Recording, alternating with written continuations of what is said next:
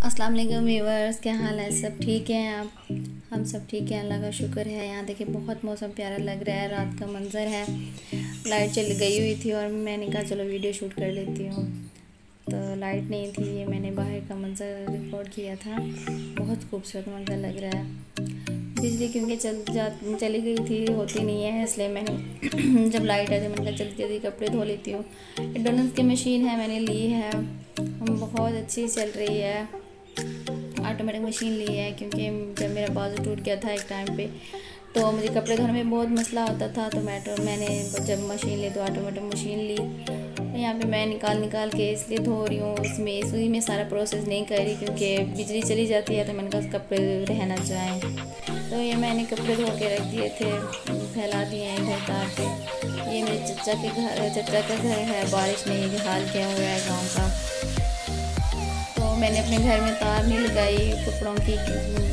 मैंने बस इधर ही चाचा के घर डाल आती हूँ जब भी धोती हूँ कपड़े। तो ये देखें, बारिश में सहन कच्चे हैं तो गीला हुआ पड़ा सारा सहन। में कपड़े धो रही थी तो साहब ने कहा कि मैं पापड़ बना लेता हूँ। तकरीबन काम कर लेता है अंडा बना लेता है, चाय बना लेता है। तो ये पापड़ बना रहे थे कि हम, मामा आप काम कर रही हो तो हम यहाँ पे पापड़ बना के खा लेते हैं। मैंने कहा, चलो ठीक है, बना लो। बहुत सारे काम में मतलब मेरे बच्चे भी हेल्प करते हैं, मैं साथ भी हेल्प करता है तो सीट भी हेल्प हेल्प करता है काफ़ी। तो यहाँ पे मेरा देवर आया था, वो भी साथ में बैठा हुआ था, छोटा सा, ये साथ की नहीं है तो दोनों मिल के पापड़ बना रहे थे, खा रहे थे। तो जब सहन थोड़ा खुश हो गया ये मान और बदनी खेल रहे हैं, कंचे खेल रहे हैं ना, दोनों। साथ और तो सिर्फ़ खेलता हुआ देखते थे, ये भी खेलने लग गए।